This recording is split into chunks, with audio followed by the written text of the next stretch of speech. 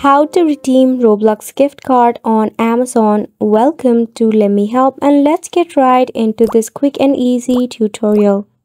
For this, firstly launch a preferred browser. In here, in the search bar, search for Roblox gift card.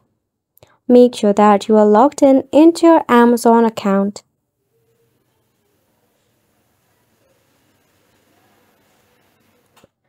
Here you will find various of Roblox gift card that you can purchase. Just click on any that you prefer.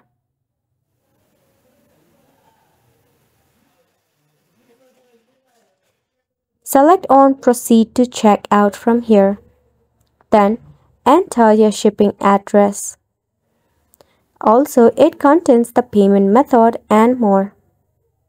To redeem, open up your Roblox, select on More and head over to Gift Card.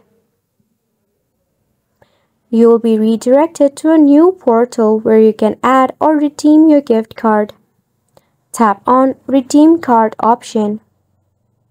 In the dialog box, just enter the gift card number that you purchased from your Amazon and set on Redeem. And that is how you'll be able to redeem your gift card on Amazon or Roblox. It's a wrap for the video as well. Thank you so much for tuning in.